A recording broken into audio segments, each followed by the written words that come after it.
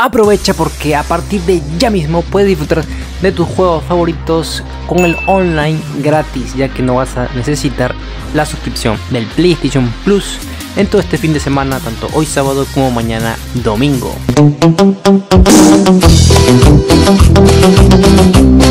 Y bueno, mis creen pues como bien han leído en el título y como ven en la miniatura guapísima, es que entonces vamos a poder disfrutar de cualquier juego multijugador online, ya sea tu juego favorito, el FIFA 23, el GTA 5 o el Call of Duty Modern Warfare.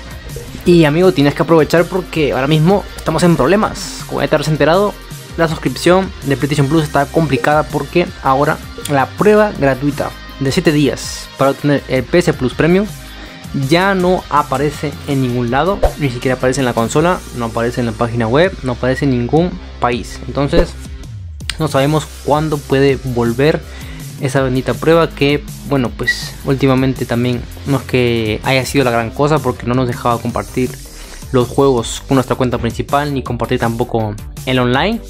Pero sí que nos dejaba probar juegos por 7 días, ya sea cualquier juego del catálogo del PC Plus Premium y el extra. Así que bueno chicos, toca esperar a ver qué decide Sony. Me parece que voy a hacer otra llamadita para ver qué es lo que me pueden decir los chicos de soporte técnico del PlayStation, al menos aquí en España.